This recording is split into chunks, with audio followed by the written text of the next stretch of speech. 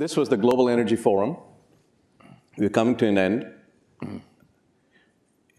Being a former cabinet member in the United States, you are by default a global citizen, whether you like it or not. You have a worldview that, that most people don't have. So let me start with you, Secretary Shultz, as based on what you heard um, over the last couple of days, reflect on that and tell us what struck you, what were the interesting things? Well, the first thing that struck me was what a fantastic job you and Sally have done in putting this together. So anytime I want to have a meeting, I'm coming to you to put it on. well, let me also now, add beyond that, that, let me say this. We have been treated to just a wonderful array of things to do that are basically doable, that can go a long way toward this problem.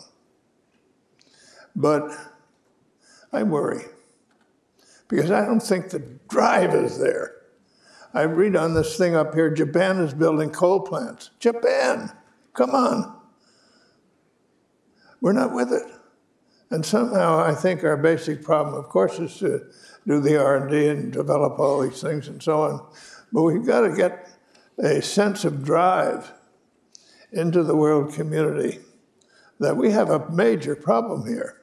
This gets totally out of hand. It has a big planetary meaning. I, I think, as Bill and I both agree, nuclear weapons and climate change are the two things that can knock you out. And we don't have the drive behind it. And I think the basic, one of the reasons, there are many reasons, but one is we don't have the drive in this country. Maybe we have it in California, but we don't have it in Washington. So somehow or other, got to ignite things here to take advantage of the opportunities to do the things that are here to do because the problems are urgent.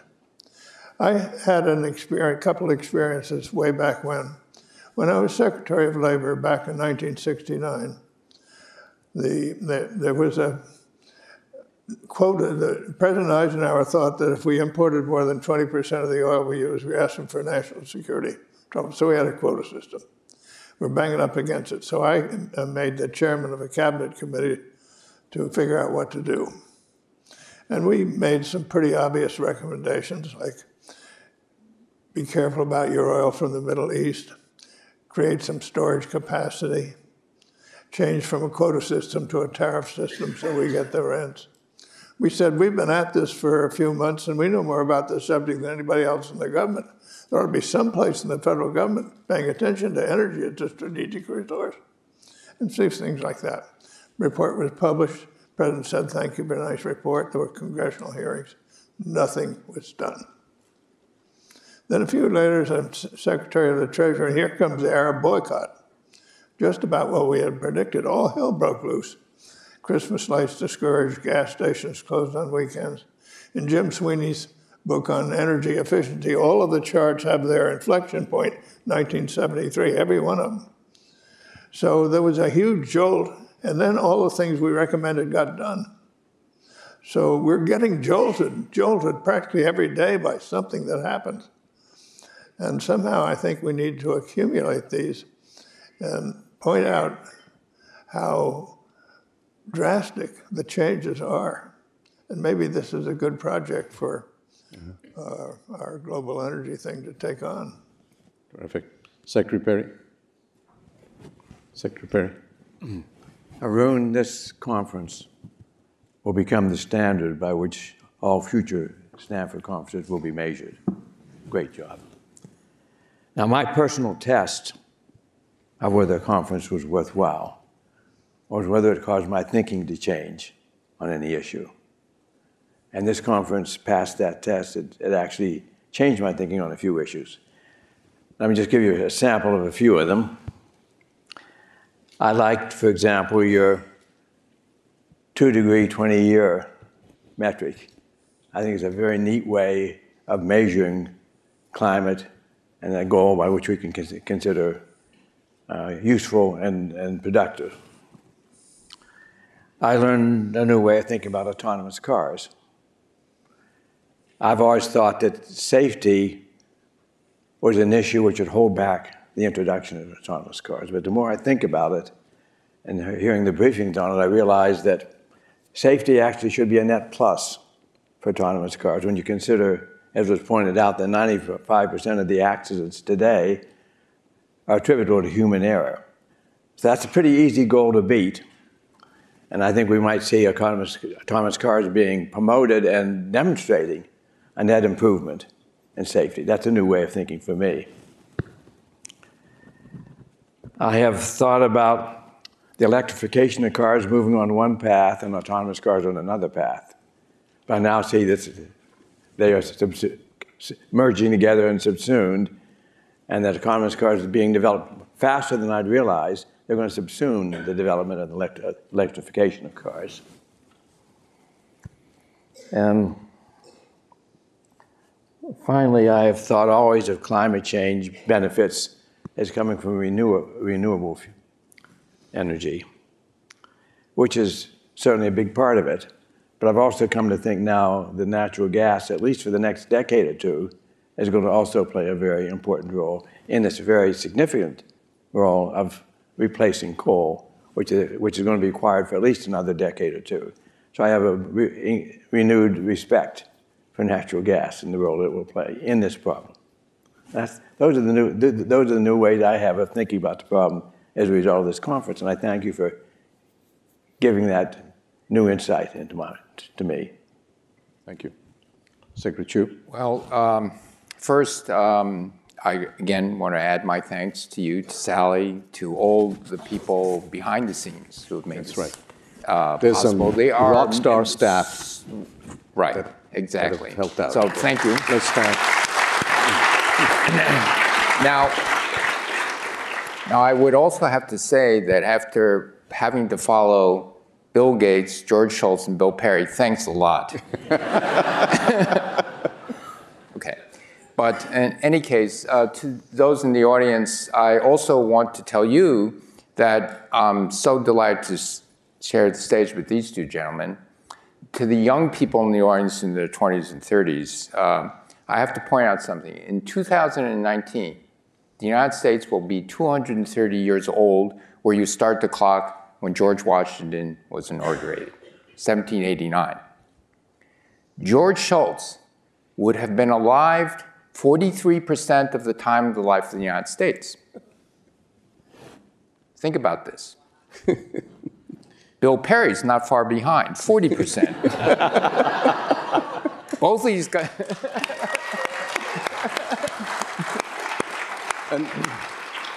I'm, I'm a spring Spring chicken. chicken. That's right. That's what I was going to say. So, so Only just 5%, So, right? but so I'm so delighted because you should listen to these people. They have incredible wisdom, and they have incredible intelligence. Now, the only other thing I want to say is I'm going to read first. I don't know where Chris Field is in the audience. I was looking for him. He has a very gentle, low-key way of of uh, describing this. Everything he said, I agree with 100%. There's no debate. But I'm going to describe it just if you give me a little Sure, time. sure. Please. A slightly different take on it. He talked about in 12 years, we will go past the 1.5 degree, and in 15 years, we'll go past the UN 2900 gigatons of carbon. But what he didn't say is that after we go past 2900, two degrees, from there on in, for the rest of the next 10,000 years, humans can't emit any more carbon dioxide in power, in cement, in steel, in agriculture, in everything. Zero. After we exceed 2,900 degrees. Two degrees, what happens at two degrees? As a matter of history, not a climate model. Matter of history, we know what the sea level was like. It was six to nine meters higher. That's the UN goal. Six to nine meters higher sea level. We used to think that would take several thousand years. Now we're beginning to think it might take a few hundred years. So that's a difference between evolution and evacuation. Okay? So think in two degrees, we have to go to zero, period, for the entire world I'm not talking about the United States. And so this is, this is the challenge. So when you say, well, you know, it's okay, you know, natural gas will be. It's true, fossil fuel, we'll be using fossil fuel in the next 50 years.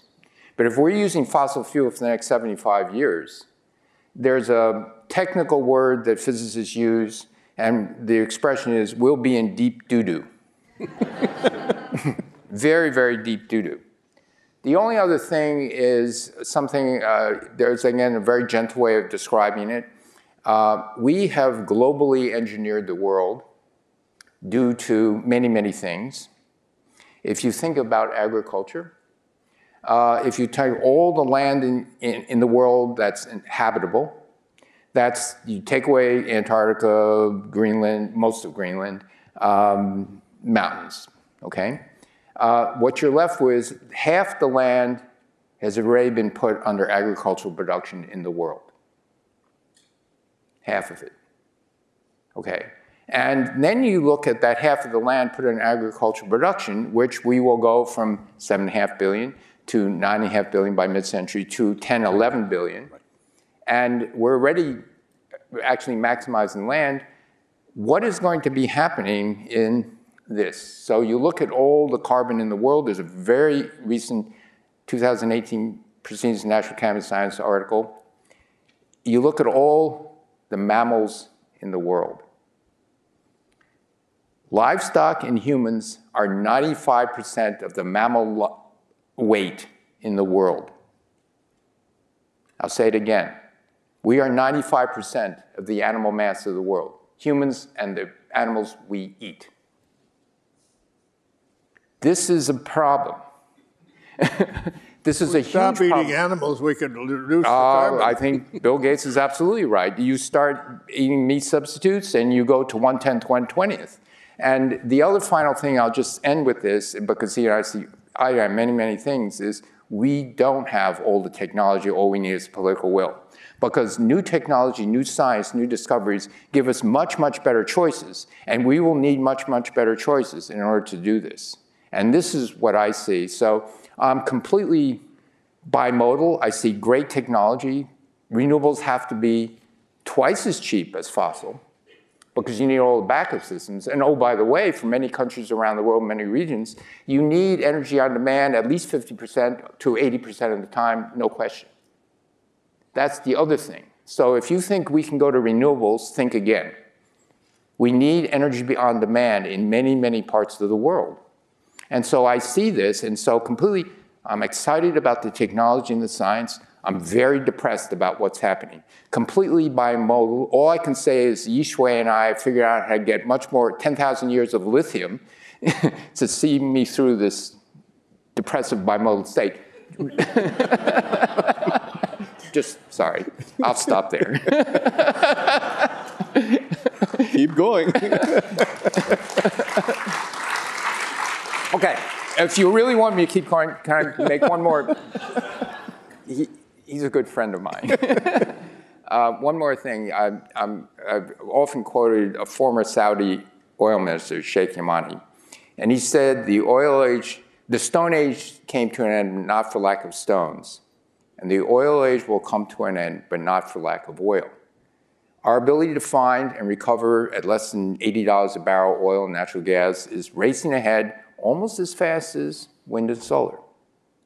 We will have at least 100 years, but maybe 200 years. And so what is it that you need to do? You actually have to find a better solution so you don't look at the stones in the ground and said, you know, if it weren't for the regulators, we wouldn't have these stranded assets. we went to a better, a better solution. And so the thing we need to do is the new technology says, you know, we don't need the oil and gas because it's actually more expensive and it's crappier for society. It's another technical word that physicists use. And so, so that's, again, the technology we need. Yeah. So flipping back to Secretary Shultz, um, we heard some fantastic discussions out here, very substantive on variety of topics, diversity of topics. If you do this next time, I think, I hope everyone agrees that we should do it again. Um, what kind, what other things would you like to hear? given the discussion that's just gone? Well, I think what we see here is lots of things that can be done that will help the problem. There's no lack of that. And I think it's also been shown that energy R&D is productive. So we need to keep going with that. So those are important things that, that you can establish. But what alarms me, as I said earlier, is that we're sort of not really driving at all. When Japan, of all countries, is building coal power, plants now, you say they don't have the message.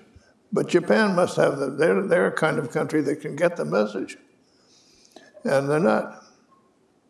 So I think, of course, we need to keep going and producing these ideas that are, have a reality to them. But we also have to figure out how to get the world community working on this. I always thought the significance of the Paris Agreement was an acknowledgement of the problem very broadly. Not so much the things that people pledged, but the acknowledgement of the problem. That was good. And I think that's why it's so tragic that we have dropped out symbolically. But, but one of the odd things that's happened as a result of us dropping out nationally, there are lots of states and individuals say, we're not dropping out. And we had that big conference here in San Francisco about a month ago. It was a gigantic thing, and it was fun and very well attended by people from all over the world, and it kind of back, back on the map. But somehow we have to think of how to get energy into the system. And uh, I don't know exactly how to do it, but it, but it may be the accumulation of undeniable events. And you add them up, and you see they're getting more and more frequent. And I think that's an assignment I'll give you for our global energy thing. But somebody to work on. Let's put these things together, put them on a time scale, and um, don't publish a book. Do this kind of stuff that you have up here. Then people get it.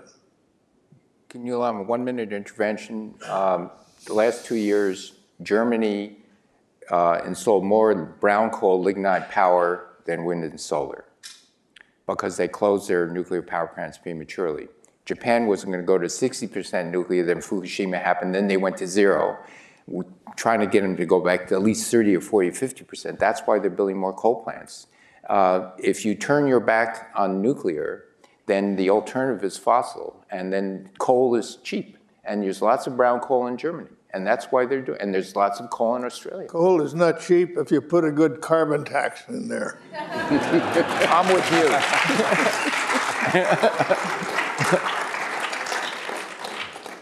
Secretary Perry. Uh, building on what else would you like George has said, yeah. I'm hugely impressed by the progress being made in the R&D, which was demonstrated so well at this conference. And this conference gets out the message we're speaking to the converted here. And so I see a huge need for an educational program on how serious this problem is, how soon it's going to be serious, and, what can, and the fact that things can be done about it, but they're not being done. I don't suppose it's the role of the education, of the university in the mass education, but that's what's needed here. And we need to somehow figure out how to get the message across that offsets the message of the climate deniers. This is a big, big problem. And it's a bigger problem than, than I ever realized it was. That people were still moving ahead with the theory that, that this is just a fiction. It's just a, uh, that climate change is something that is inevitable and cannot be reversed. And we need to get the word out it's, it's not inevitable, it's being caused by us, and the technique can be reversed. The actions to reverse it technically are in hand, but politically they're not in hand. So that's the kind of education I think is needed. Secretary Chu. Well, I'm going to go back to the carbon tax uh, because I think we're, at least, you know, George and I for sure, uh, I have to say in the last, my last private conversation with President Obama, you know, I said, you know, what do you, my parting wish was, you know, You hired me, the first scientist cabinet member in the history of the United States, do it again. He did. And start a carbon tax. He says it's not going to happen. Okay, I think it can happen now because times are changing. The oil and gas industry is facing liabilities. They're, they're looking at this, and they would like to deregulate. So I'd say, you know, that's fine. You end all subsidies, you start the carbon tax over a 20-year period, give people time to adapt. But where's the thing? You can't mail the check back. So we have a means of giving back the money every week. You know, food stamps are now electronically done.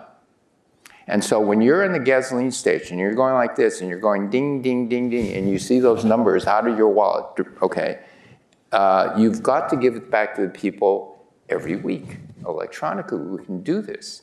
And so it is revenue neutral, and it's not an additional tax. It's, you, you, you pay no more tax, and you make it progressive. And if we start to think of how to do this, maybe we can get some traction. The oil and gas companies, I think, are now motivated because they're facing potential liabilities, things like that. Everybody seems to be changing direction.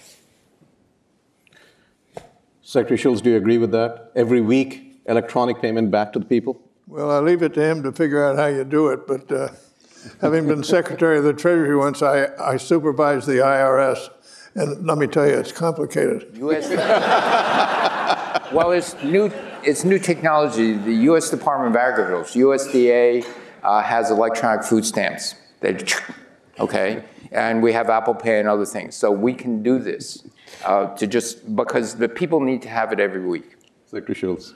I have an addition to our revenue neutral carbon tax idea. I hear more and more people are figuring out how to take carbon out of the atmosphere. We're trying to restrict people from putting it in, taking it out. So let's add to our carbon tax idea a little payment for people Absolutely. who take it out. New little wrinkle. And the best way to take it out is plants. I absolutely Plants. agree with you. Plants are wonderful. The amount of carbon dioxide plants in agriculture and grazing land only. I'm not talking Brazilian rainforest. I'm just talking about agriculture we now grow for food and grasslands is twice the amount of carbon dioxide we emit each year. Okay? But it all gets recycled. And so if you can take that, you can take useful products, make it into chemicals, plastics, start with high value, sequester the rest. Then you have many gigatons per year of negative carbon emissions. And so we need stuff like this, but this is technology and science development. Well, on that high, One more thing. I think at Stanford, we really have some good thinking going here that's good. And there's a lot of there's a lot of good work being done as such, but there's interest. And I you invited me over to a meeting. New graduate students, I think it was, came voluntarily. Just, and there were a lot of them. They were really interested. They were from all over the world. And so this is the kind of group you want to ignite. So we have a lot going for us here at Stanford, and we ought to keep going what you're doing. Mr. Secretary, I'm so glad you've you ended you are ending on a note regarding the students because I think that's the future, and they are an amazingly inspired bunch that we have seen out here, and not just in Stanford, in across across the, the world, frankly. And you know, we have students not just from Stanford out here, but Berkeley, MIT, Georgia Tech, and others. And as I mentioned earlier, we're going to expand it um, to other countries. We have from University of Toronto, uh, and we're going to expand it to Mexico, to India, to China uh, in the future years. So this is very important because they need to understand that 20 and, and beyond that is zero after that. And it's their, and we are, it's their future at the end of the day. Here's another thing you ought to do. I keep making the suggestion. You, you tell me it's too expensive, but I think it would be a good idea. We have a little relationship with MIT that's been productive. Right. And why don't we establish ourselves as the place you go to to find out what's going on anywhere in this R&D world?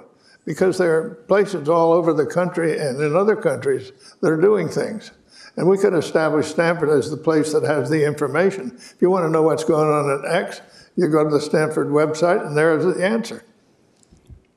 So you get the money to do that. So,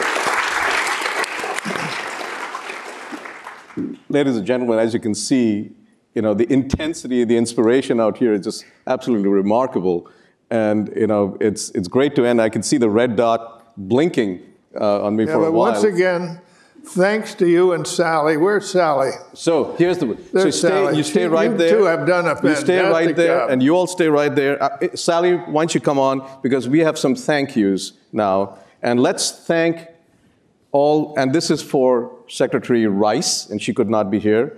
Let's first thank them, and then, most importantly, we're going to thank a few other people.